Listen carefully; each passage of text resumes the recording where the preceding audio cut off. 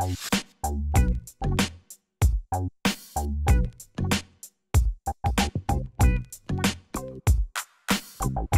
what's up, Roxstars? It's Rox coming to you today with the review for Love and Hip Hop, the family reunion. It's the life, it is the life, this is the life, this is the life. Is that how it goes? No, honey, they changed the intro. I was like, all right, I see you. Came up with the Mary J clearance. Now, the show was called The Family Reunion, so you know we had to we had to bring it in correctly with um the family reunion. Let's get it crunk up on the corner, on the in this dancery. Let's get it percolating while you waiting. So just dance for me. Come on, everybody, get on up.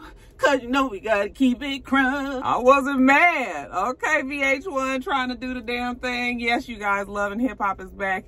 And it was good to see the peoples, I must say. It's been a long time, you guys. Coronavirus has thrown everybody for a loop. And child, we lost all of the love and hip hop franchise. I mean, we ain't had LA or Hollywood. We ain't had Atlanta. We ain't had New York. We ain't had Miami. Nothing. So even if we just get a little slice of something, a little slice of something is better than nothing, you guys. I didn't think that I would miss the peoples, but I did. I did. I think I would have been happy if we could have seen just a few more people, you know, just some more people from the franchises. I mean, these folks are okay, but, uh, you know, it's just like we didn't get much representation from Miami other than the mains, you know, Trick, Trina, uh, Joy, and I think Joy just came on along, you know. But like we didn't get, I mean, it, it's it's a strange motley group, a mix. Did we even get anybody from New York? I don't think so. I don't think that anybody on here is from the, okay, let's go through the thing. Okay, you guys, let me just do everything in order. The review. Let's get to it, shall we? Okay, you guys, so the way that they set up this reunion show or this family reunion, I should call it, is so that um, people could get together and mend broken fences, try to get back to each other in a lovingly type way. Okay, Trick Daddy got everybody together, let Mona tell it. That's a bitch, use a lie. Anyway, yeah, Trick say this, these people is all his family. These is people that he would fight your ass for. He thought that it would be good. He would get a little barbecue together. You know, they say that Trick can cook heard that this restaurant does well, you know, and if you can just get past the, the, the visual of Trick Daddy cooking the food that you have to consume, I be like, nigga, you ain't got a pot of water out there, nothing to clean your hands. You know, he just ripped open them ribs. I was like, oh, okay. Once you get past that, looks like we're gonna have a good time. So first we see Yandy. Yandy says that she really needed this trip, you know, because her man was gone, Mendeecees, for four years.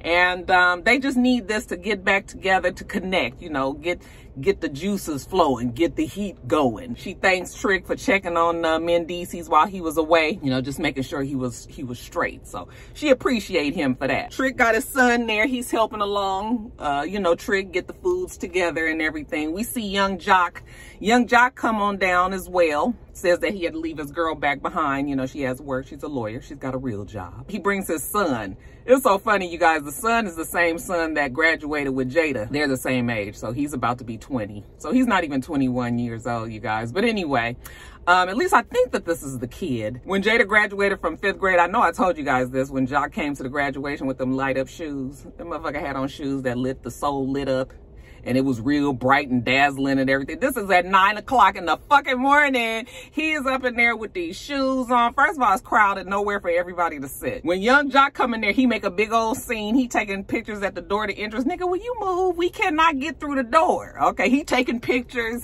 Then they tell some of the people that they got to go sit up on the on the stage because there's no room down where we were sitting in the bleachers. And he he the main one up at, on the stage. He got to cross back and forth with these lit up sneakers. He got over my everlasting fucking nerves. I was just like, just has to get the attention. Anyway, I think that this is that same kid. He's with him as well. Then, of course, we see our boy Ray J. The king is back. Me and Princess hit a rough spot. I mean, we really like, we're in the middle of a divorce. I know that's a rusty Ray J, but Ray J was rusty. I was just like, what is wrong with him? he looks real dusty and tired. Ray J looked like he'd been having a rough life. I don't know. He just was not on, he was not on the ball. Like it was just sort of like, I, am not quite sure what was going on with him. But when he walked in with that Hermes um, blanket around his shoulders, he just looked a little off. And yes, you guys, it is a shame that Ray J and Princess are in the divorce child. Who knows what goes on with the two of them? I'm almost starting to feel like it's a stunt because they broke up one minute, back together the next, broke up, doing conversations and shit on the TV. Like, Child, I don't know if I can believe that. They just did a little val Valentine's Day special last night, you know, even though they were kind of being shady towards each other, but still, like, I... Anyway, next we see Sierra and Paris. They come up, you know, looking good. Paris actually, you can tell, has lost some weight. She looked nice. Sierra looks like Sierra, okay? Not ugly. Not ugly at all. She's actually a pretty girl in some sort of strange alien type way. You know, she's got a lot of work done to her face. So once you can get past all that, then we got Fizz. Fizz still looks the same, you guys, like he's been wearing the same hoodie for two weeks. I was like, where his pack of Marlboro, y'all? Apryl also comes, which was interesting enough to see Apryl. I was just like, oh, I mean, who would have ever thought, you know? She's kind of faded away into the background. We don't hear much or see much of Apryl these days. You know, Bambi and Scrappy are there. I'm looking at Bambi and Scrappy. I'm telling you, that Bambi is so much a LA girl. Like, she is a LA hood kind of like bougie, like snobby LA girl, but then also mixed in with like the ghetto fabulousness of Atlanta. It's like all of that and mixed into one when you look at at Bambi. Anybody that's from LA though, I could I'm sure you could see the LA girl in Bambi. You know, she shows up with Scrappy. Uh, let's see, who else? Joy and Trina. They come in next. Did I mention Karlie Redd and her daughter Jasmine? I guess Jasmine is being introduced into the fold. I mean, we did have Jasmine on, you know, Love and Hip Hop Atlanta occasionally when they was having all that drama with, um, uh, uh, what is her name? The one that said Karlie Redd had boo-booed on the sheets.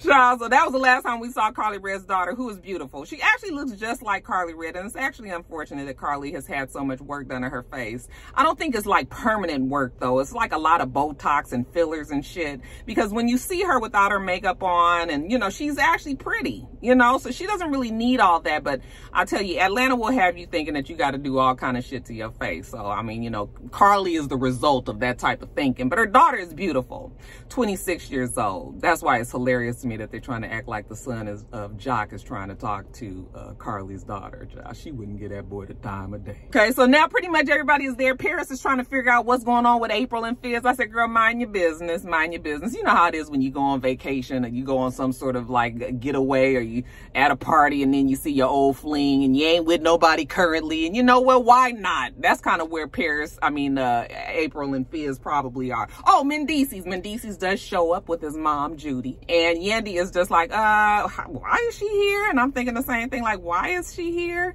You know, like, I guess Mendeecees wants also to mend the fence between Yandy and Judy, which we know there's really no fence there. I'm sure Yandy gets along fine with Judy, but for the show, you know, she's just like, why is she here? And he didn't tell me she was coming, and that is not okay. That Mendeecees still looking good, honey. Them four years in jail didn't set him back at all. And Mendeecees is still, he don't know nobody. Um, so I guess Yandy and Mendeecees are the only New York representation now that I think about it. You know, but they didn't, nobody else from New York, like nobody. Mendeecees is trying to, you know, get to know everybody. Did you guys see how Ray J just went up and hugged him, just put his head in his chest? Mendeecees was like, hey man, he's just talking to Fizz about how difficult it's been, you know, to transition into you know, regular civilian life. When he got out of jail, then not too long after that, COVID happened, and then he was kind of on restriction again. So he's stuck up in the house with Yandy and uh, his family, you know, a different kind of stuck, but still, you know, so he's just trying to get used to it. Plus, he said that the banks and, you know, the, the, the jobs and all of the things, they, they just not trying to take a chance on him because he's a felon, you guys. He was um, in jail for four years, like I said, for trafficking, drug trafficking, and the conspiracy to move 47 kilos, okay? And um, you can use your imagination of what them kilos was of.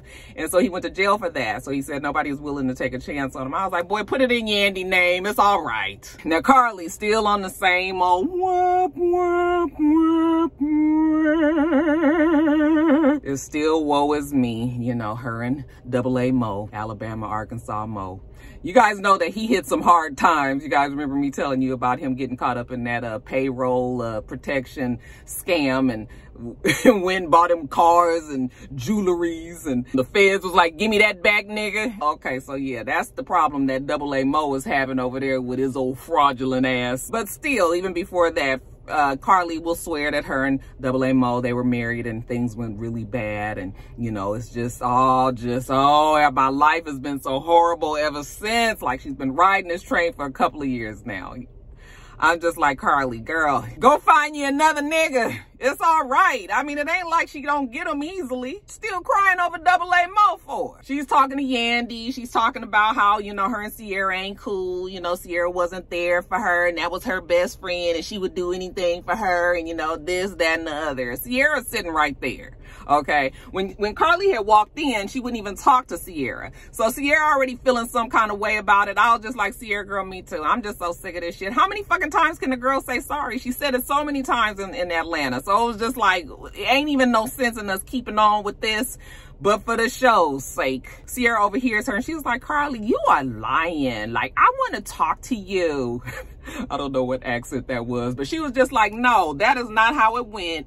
You lying to Yandy about it. Um, and Sierra wants to, you know, have a tete-a-tete with Carly. But you know, like I said, Carly's still the victim, so whatever. Oh, Mama D. I left Mama D out. Did I leave Mama D out? How can I leave Mama D out? She is also there. A little old to be a part of this group, but you know what? We family, right? So somebody got to be the auntie. Might as well be Mama D. She said that she's going to use this opportunity to get the her palace in order. All right. Because, you know, there's always been some breakdowns with, uh, you know, when it comes to young men scrap, Merlot, uh, uh, the BAM, and Mama D. So yeah, the, the, gang is all here. Let's have a let's have a party tonight, just for the girls only, a, a lingerie party, sexy lingerie. You know, we just the women's though, and it's kind of awkward because some of them are married and their husbands are there, and then you got some are single. So I'm just like, oh, this is kind of weird a little bit, you know. But I mean, I guess the people that's married know what they supposed to be wearing. But when they said sexy, the sexier the better. I was just like, uh, I don't know if Mendeecees gonna go for that or Scrappy. Um, but okay. Trick ain't really with it. He want everybody to be together, but the girls is gonna have this party. Okay, so yes, like I said, it's a family reunion. It's a family reunion. Oh, that's not that's not quite right. Why can't I think of the song in my mind right now? It's not here. Let's just do We Are family. Hey. Anyway, you guys, so when they finish up with that uh, day, you know, they do the electric slide because that's what black people do when we get together and party. We, we, we close all good times out with the electric slide. later on we see paris you know like i said paris lost weight she says she looking big slimish you know she's there with a whole bunch of bosses so she's there to um, absorb all of the boss bitch shit that these women are gonna give us. She's also there to absorb the food that Trick Daddy, because she said Trick and cook. You saw when they were showing a little clip of her with all of the food and shit on her fingers.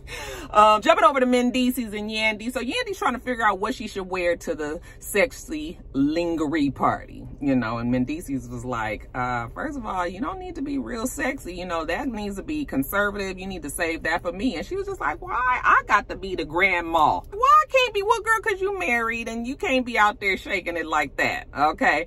But um, he was just like, you should be wanting to save all that for me anyway. I don't even know why you going to this party. Like, you know, we about to be together in here. We need to keep, keep the heat going. We need to have a good time in here. And she was like, so I can't wear this. You know, I can't drop it like it's hot. Do a little something, something. He was like, no, you need to stop trying to be spicy. And she said, no, your mama is spicy. I said, oh, well, what kind of segue was that?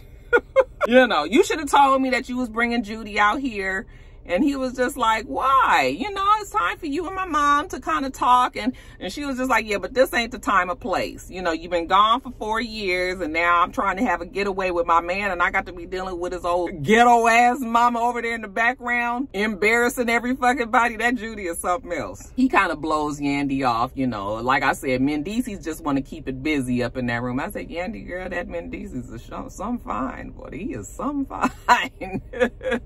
now, it must be cold. Where is this, you guys, is this in Arizona? Because Ray J was like, only a polar bear's toenails should be walking around on this ground. now, Carly and her daughter, they are in the um their room and um, they're talking about, you know, like I said,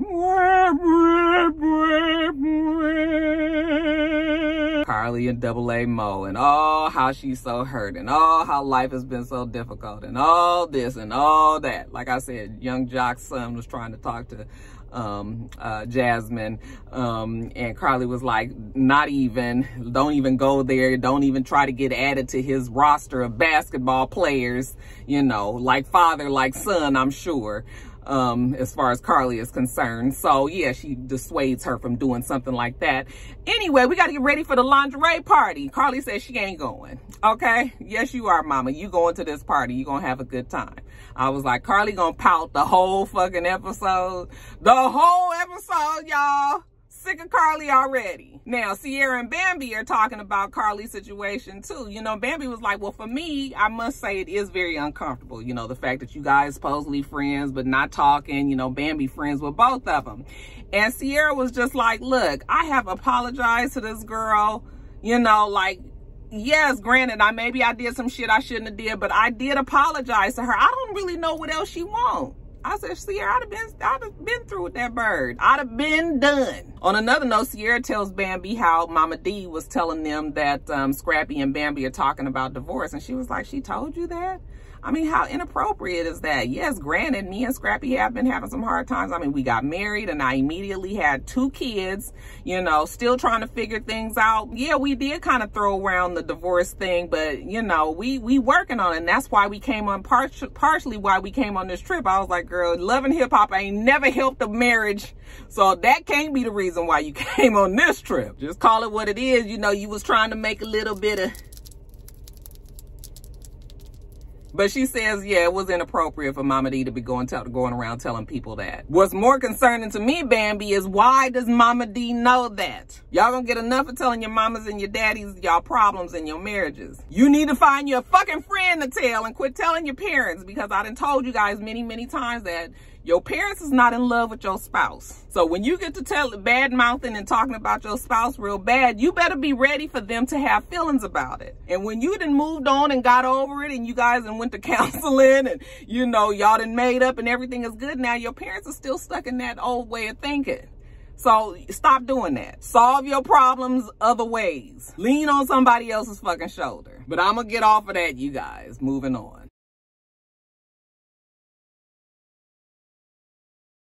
So everybody's getting ready for the lingerie party, you know, everybody is pumped up. They just ready to relax, you know. The vibe is good. The, even though it is a strange group of people, um, for whatever reason, it works. Like I said, I still would have liked to have seen, you know, some more people, especially from New York. Like, we didn't get nobody from New York. Y'all couldn't get the creep squad. like, nobody from the creep squad. Nobody from New York. I guess they was just like, we ain't fucking with y'all like that, Mona. People start getting to the location where the party is gonna be. You know, Mama D came in her auntie finest. You guys saw her in her little silk robe and her white knee-high, uh, thigh-high. I was like, Mama D, you can't get the ones that had the cute little lace on the top. It's a big ass, thick ass band to keep them from falling down.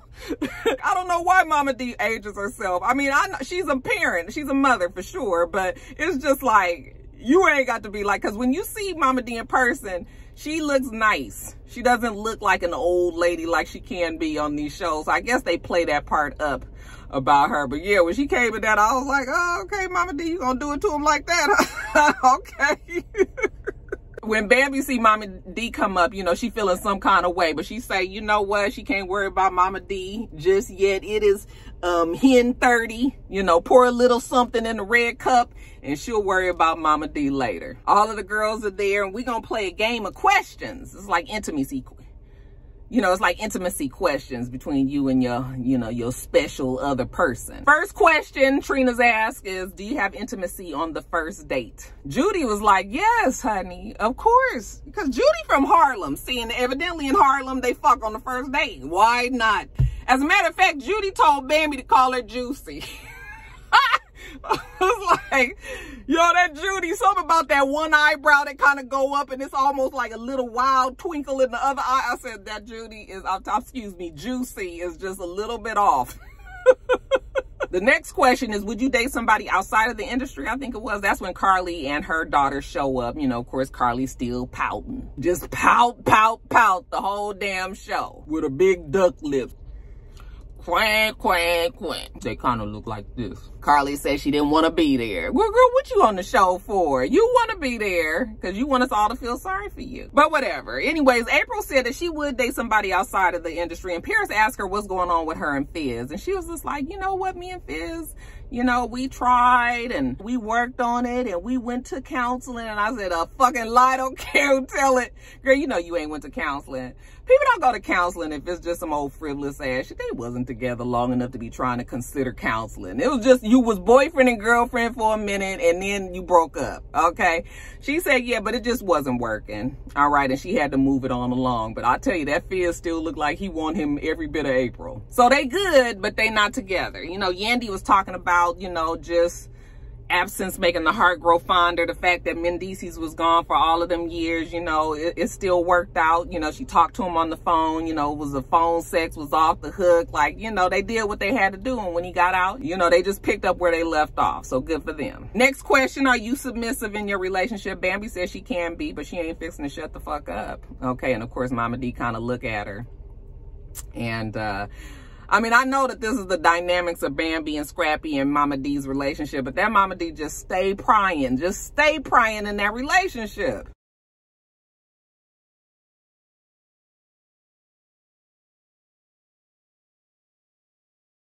Yandy says that Sierra and um, Carly are some of the best people that she knows and she hates to see them fight. So she's going to try to get them to sit down and talk. All right. So, um, yeah, let, let's, let's see if we can get y'all to talk. You know, Bambi says she gonna be one of the moderators. Anybody else want to come, that's fine. But she gonna try to get these two to get, get it together. So Yandy comes on over as well. All right. And, uh, you guys, it's like a fucking broken record. I mean, we have heard this argument so many times. I guess after the show, them two were still arguing on social media. You know, um, I guess Sierra apologized, but then she sent Carly some text message or said some old foul shit about Double A Mo and her marriage. And Carly didn't like that. And she was so hurt. And you supposed to be my best friend. And I would do anything for you. And I don't need it. I don't never turn my back on my friends. And you hurt me so bad. And it was my birthday. And you didn't come around for my birthday. And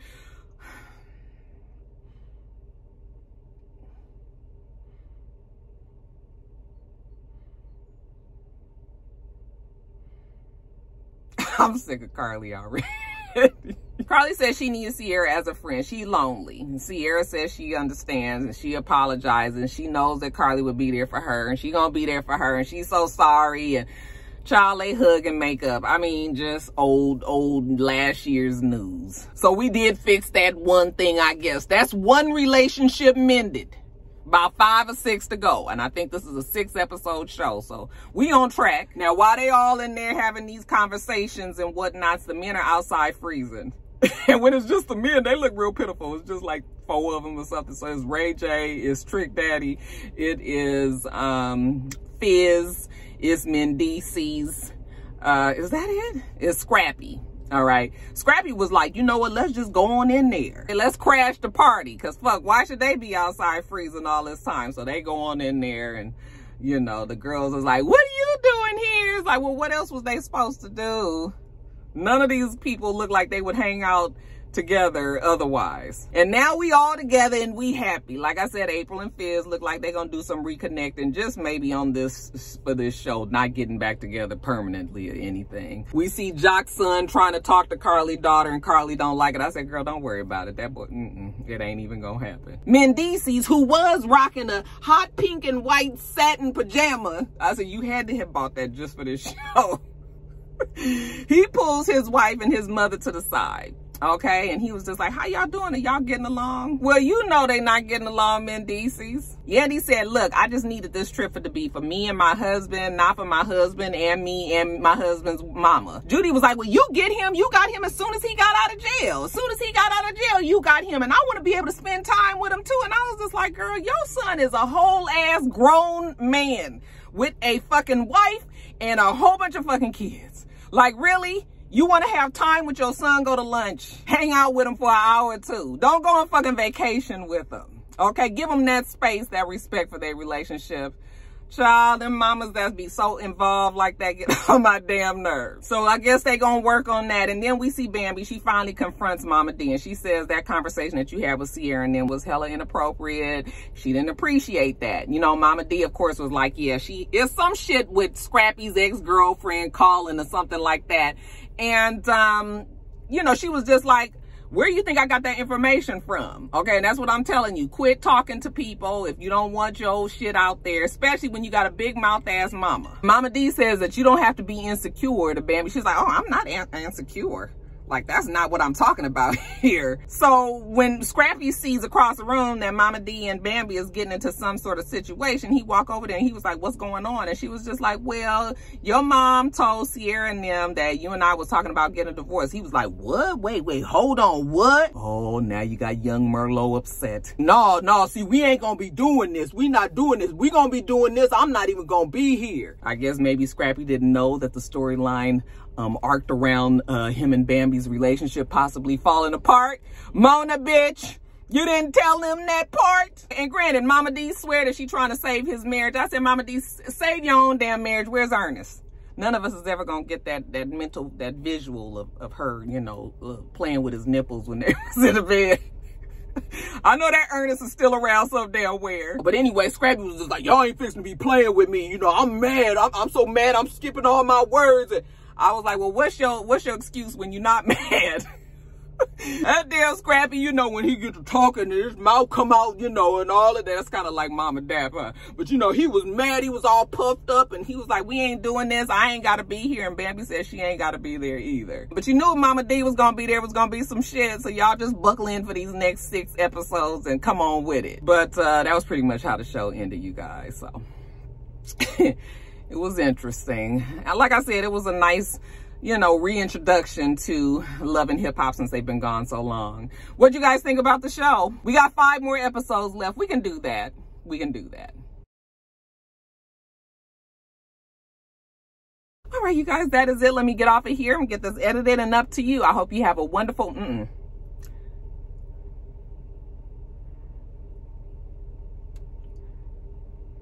The channel is This Rocks. All right, you guys, I'm gonna get off of here. Hope you guys, mm -mm. why I can't remember my fucking clothes? Please rate, comment, and subscribe to the channel. Please rate, Please rate, comment, and subscribe to the channel. I don't even remember. My mind is like a fucking blank. I'm It's Rox. The channel is It's Rox. Everything else I do will be in the bottom part. All right? All right. So I hope that you have a wonderful, wonderful rest of your day, and I plan on doing the same. Till next time, Roxstars. Goodbye.